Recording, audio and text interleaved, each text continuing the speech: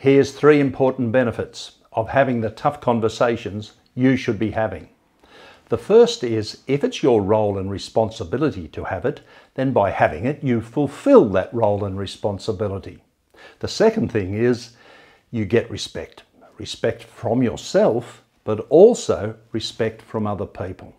And the third benefit is now, this is not guaranteed, unfortunately, but the third benefit is the problem is fixed, or at least the problem can be fixed. So there's three important benefits of having the tough conversations you should be having.